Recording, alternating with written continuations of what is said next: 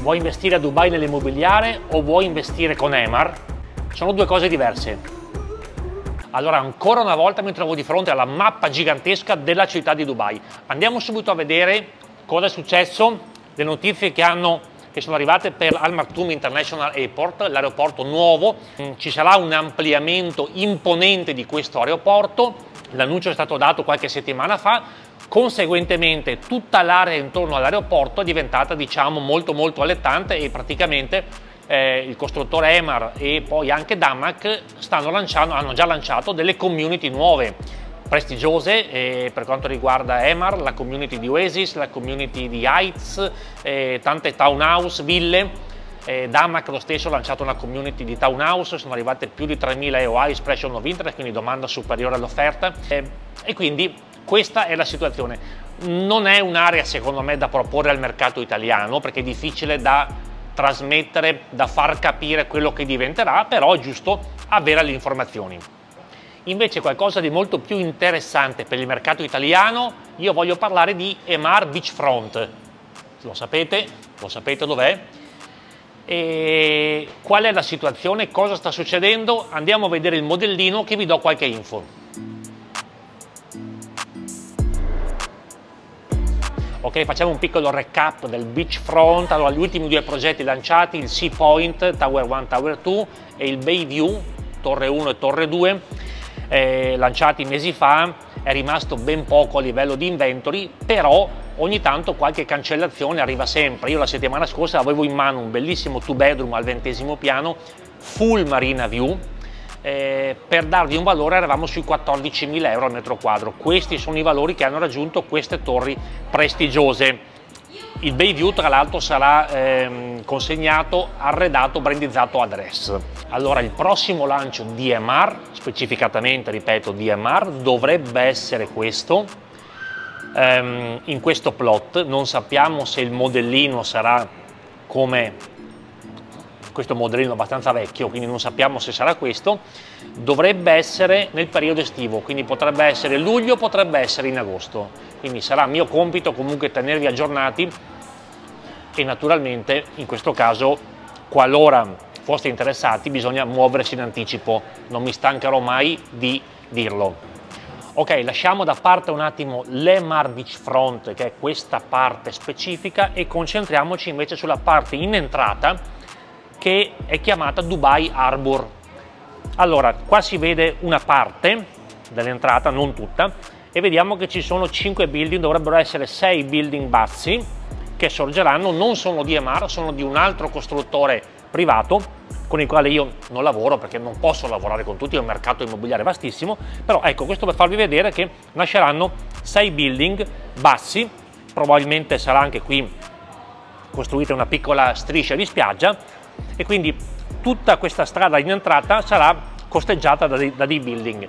Poi, notizia fresca di qualche giorno fa, perché noi siamo qui praticamente, l'entrata arriva fino a qui, mentre a destra c'è Damac, a sinistra nasceranno tre torri di circa 50 piani del costruttore Arada. Saranno torri di lusso, prezzo dovrebbe essere superiore al milione di euro per i bilocali, quindi dico dovrebbe perché ancora notizie ufficiali non ce ne sono, anche questi saranno con la spiaggia molto probabilmente e saranno praticamente all'entrata del Dubai Harbour. Ok, andiamo un attimo a parlare del Dubai Creek Harbour.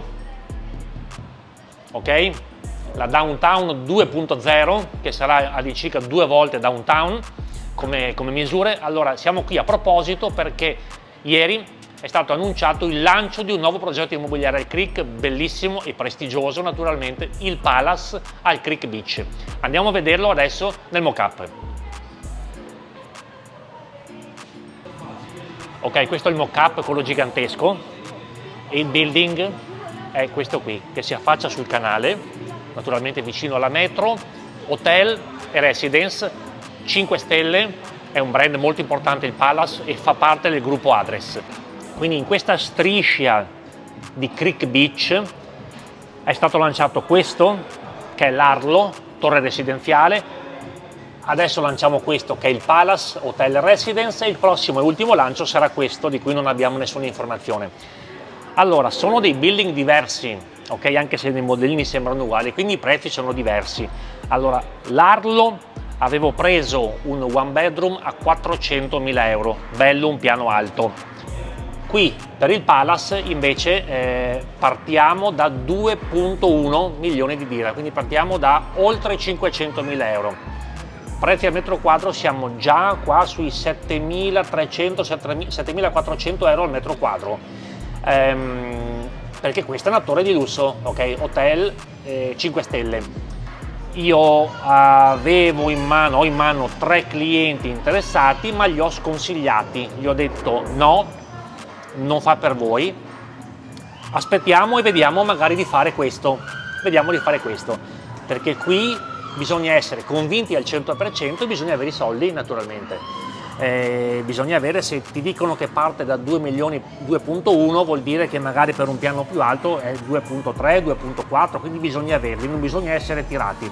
Poi con Emara appunto bisogna essere certi al 100% e muoversi un po' in anticipo, non il giorno stesso perché è tardi. Quindi eventualmente guardiamo questo. Allora, per concludere voglio ribadire, nessuno vi obbliga a fare investimenti immobiliari a Dubai, ma se avete voglia di fare dovete entrare in un mindset particolare che non è per tutti. Ricordo che Dubai non è per tutti, ci vogliono i soldi, ok? Il mercato viaggia ad una velocità estrema, quindi non c'entra niente con l'Italia, bisogna a volte anche vederci, vederci lontano, essere magari un po' visionari. Adesso vedete come guardo lontano, eh?